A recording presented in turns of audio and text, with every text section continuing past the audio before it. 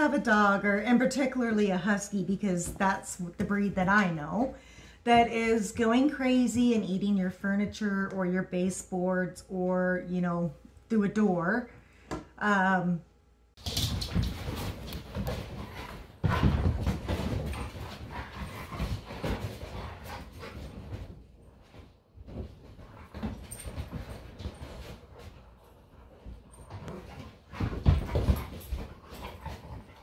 you may want to consider taking your dog to the dog park, to an off-leash dog park. Um, there are some pros and cons. The there's a lot of there's not a whole lot of pros, but the pros that you get are gigantic because what it means is that you get to have furniture that isn't chewed up and doors and baseboards that aren't eaten. So, um, because a dog park will allow your dog to run, uh, which is really what a husky wants and needs to do. Um, and so it lets them get off all that excess energy um, and it allows them to play. The other thing it does is it allows them to, to socialize. It allows them to socialize with other breeds, with their own breed. It also allows them to socialize with people, which is very, very important because you don't want to have a dog that is aggressive towards other people or aggressive towards any type of other dog. Um, beware because of prey drive that it would be better if you took your dog first or all the time because I do take my dog all the time to an off-leash dog park that has a separate section for little dogs. But I still watch her because not everybody keeps their little dogs in the little dog section.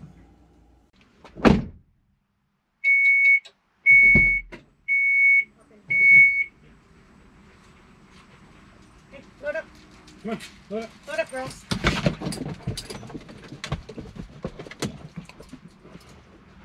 Come here, Ise. Isa, come. Isa, come. Come. She, she's like, I'll get up in the seat.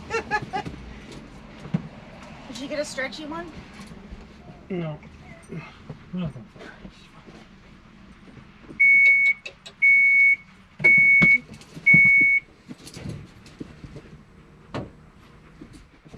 We should think. If if you've ever dealt with that, or the video, the little clip ahead of this, then your huskies probably need to go either on a very, very, very, very long walk or take them to the dog park for an hour or two. our solution is the off-leash dog park. Uh, They need to run. Fenced off leash dog park. Fenced, yeah. If you think, if you do not know how your dog is going to react to other dogs or other people, get a muzzle and be safe about it. If you're worried about how they're going to behave, try to pick a time when there's not a lot of people there so that your dog is not overstimulated. Yeah. Um, the first time I took Isa, it was about negative 15 Celsius. And so obviously a lot of people were not outside. um, but it, the park was pretty empty, so it gave her a lot of room to get used to the other dog. Yeah, you want to, I mean, try to pick times if you're trying to introduce it, even if it's just new to you and you're not sure that you know how to do. Just go sometime when there's not a lot of people. You know, like if you have a holiday, go in the middle of the day. Um, if it's a Sunday, go early in the morning. We're going right now, right before supper time. It's Yeah. just after 5 p.m. And we want to go now in the hopes that there won't be as many people, but I have a feeling there may be more people because it's getting dark out earlier now. So Yep. we'll see. So the cons are uh, we get a little bit uh, more into them, but they are manageable. So the con is one of them is um, defensive aggression, which basically means that they're not comfortable around other dogs, and so therefore they can become aggressive, and especially if the other dog is not paying attention to the signs of I don't want to play. I know because I have a dog that doesn't pay attention to those signs. Um, the other one is learned disobedience, which basically means that your dog learns that it can disobey you. It learns that it can outrun you. It learns it doesn't have to disobey you. If you have a husky, you know that your dog already knows this because a husky is going to husky. Um, I know when I take my my girls to the park, I do not expect them to mind anything I say in the first 20 minutes because most of the time they're just going to run their little heads off. Then I start expecting them to mind me. Um, again, this can be mitigated by what I did with Isa um, because huskies are difficult off leash sometimes. Is I started taking her to the dog park on a leash. So I knew how she would react around other dogs. She knew that she was safe with me. And then I slowly put her on a longer and longer leash. And I would call her to come to me and she would get a treat when she came. Even though she was on the leash, she'd get a treat when she came back. So this is what I did. And then I did this for about a week, every day for a week. Um, and we would walk maybe two or three times around about a five acre dog park. So, um, and it, it, that seemed to work really well. And now for the most part, she does obey me. But again, she's husky and a husky is going to husky.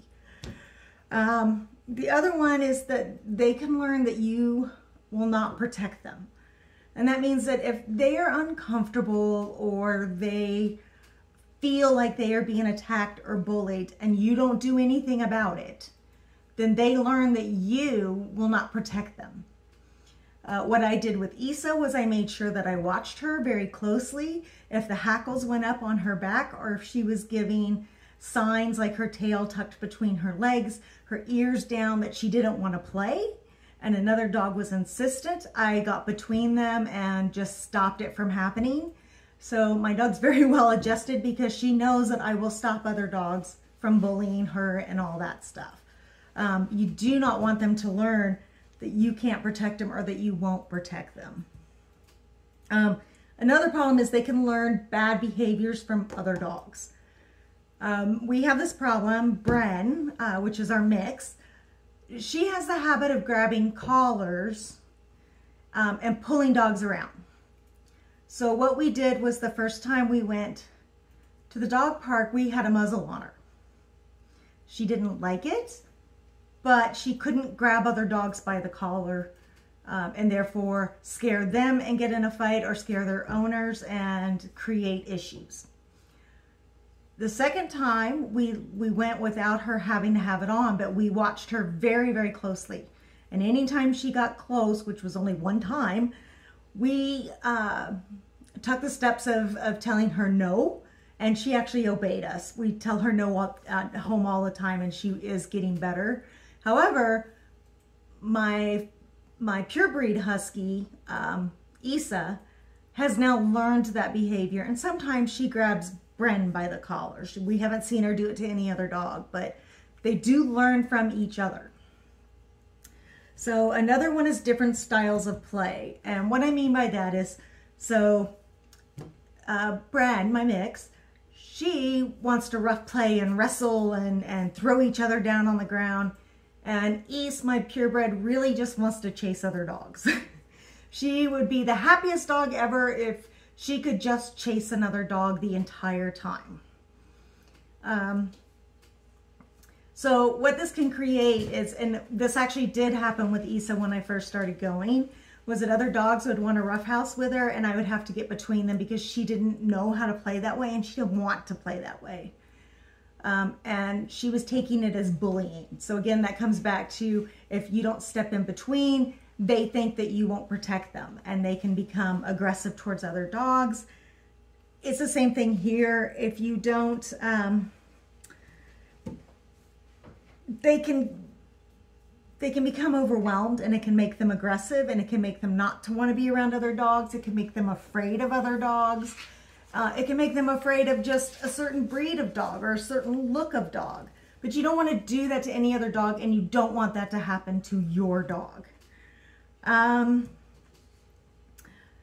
so, and then you have resource guarding. This is why you should never bring a dog's favorite toy to a dog park.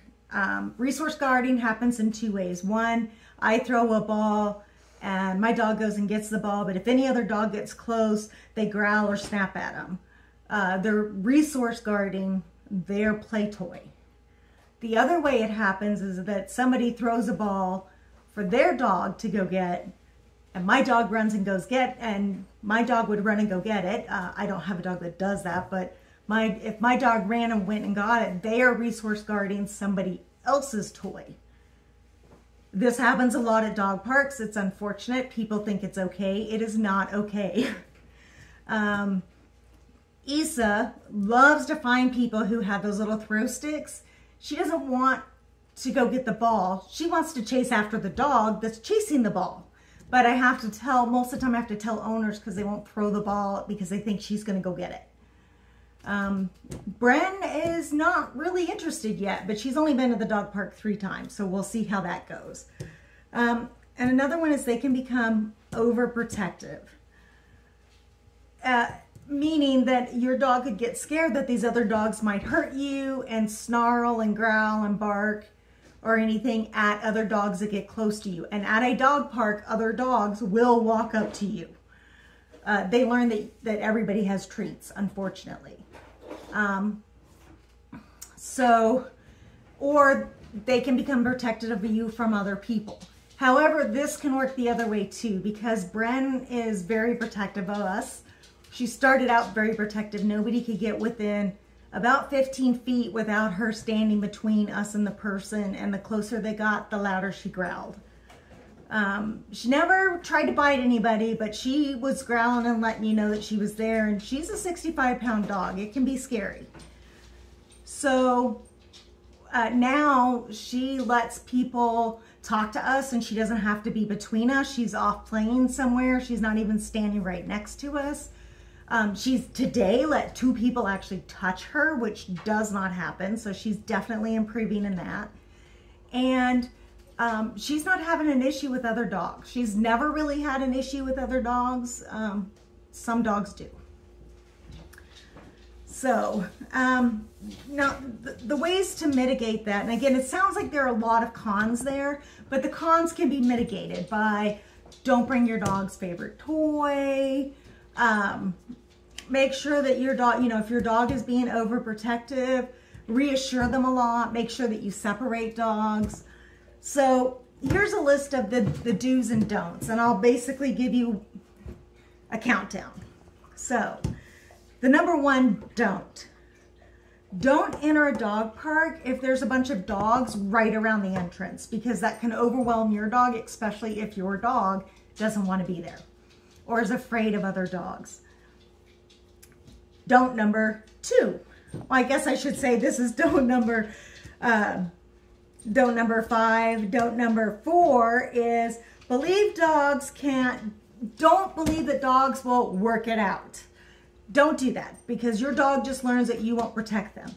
Step in between them if your dog is uncomfortable. Step in between them if your dog is being the bully.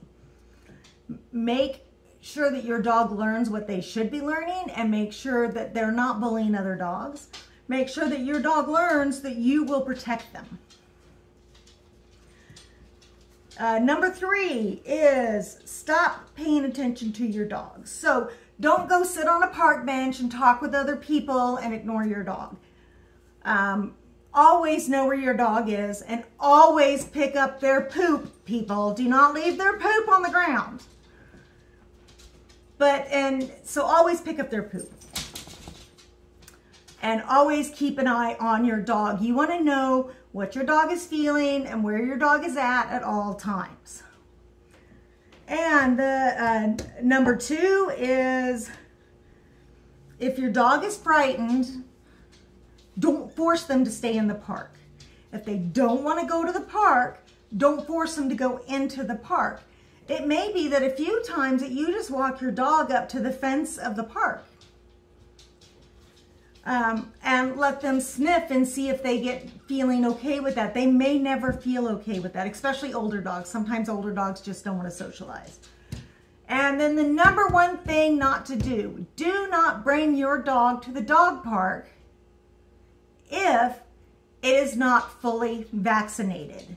Make sure that your dog is fully vaccinated. We've had several dog parks closed in our area or been advisories because dogs have gotten sick. Um, I always make sure both my dogs are fully vaccinated, but definitely make sure they are fully vaccinated if they're going to go to a dog, an off-leash dog park, or actually any park.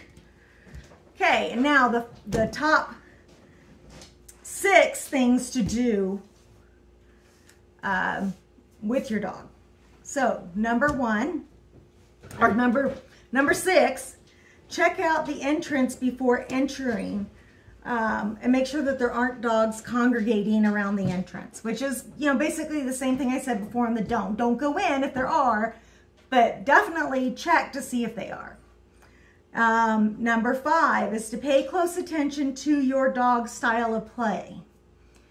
If your dog likes to roughhouse and it's trying to roughhouse with a dog that is showing all the signs that it does not want to play that way, step in between them because your dog is being a bully if your dog doesn't want to roughhouse and other dogs are trying to play, step in between them and stop it so that your dog learns that you will protect it. Number, what am I at? Number four, walk around the park so your dog has to keep an eye on you as long as you watching your dog.